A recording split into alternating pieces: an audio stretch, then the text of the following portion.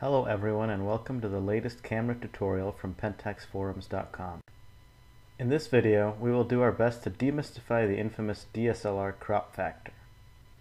If you've ever heard people mention that DSLRs have a 1.5 times crop factor, or that they offer more zoom than film cameras, this video will show you why. Let's start by taking a look at this circular image, which represents everything that a normal 50mm camera lens might see when pointed at a subject. The red rectangle in the middle represents the camera's sensor. Anything inside of it will show up on your images, whereas the remainder will not. The rectangle in this illustration corresponds to the size of traditional 35mm film, also referred to as full frame. Let's capture a photo with this setup and move it over to the right so we can take a look at it later. So, when the digital era came about, DSLR manufacturers realized the high costs associated with manufacturing large sensors.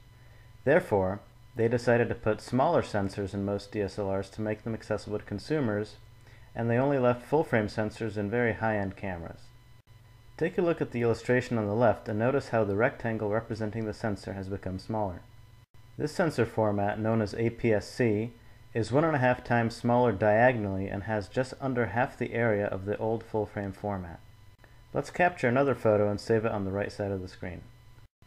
Do you notice anything?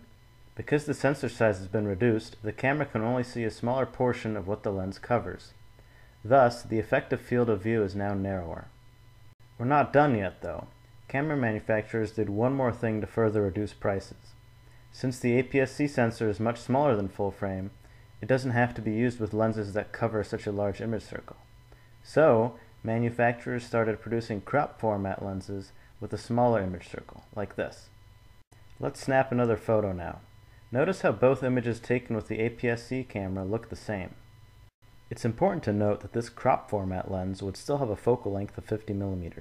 On APS-C, it still delivers the same field of view as the full-frame 50, but it can be made smaller and cheaper. The only caveat is that the smaller 50mm wouldn't be usable on full frame because it wouldn't completely cover the larger sensor. So, what's the bottom line? The one and only implication of the crop factor is the reduced field of view. It does not magnify the image or give you more zoom, and it doesn't modify the behavior of full-frame lenses. But it's a very confusing subject, because for a full-frame camera to have the same field of view as an APS-C camera, it would need a lens with a focal length that's one and a half times longer, such as 75mm on the full frame, if we were using a 50mm lens on APS-C. This back and forth conversion is what causes all the confusion. Therefore, the best thing to do is to forget all about the conversion and just look at the focal length of your lens, as this is a fixed optical property. No matter what 50mm lens you mount on an APS-C camera, you always get the same field of view. It doesn't matter if the lens was originally designed for a larger format, like full frame or even medium format. The same goes for every other focal length out there.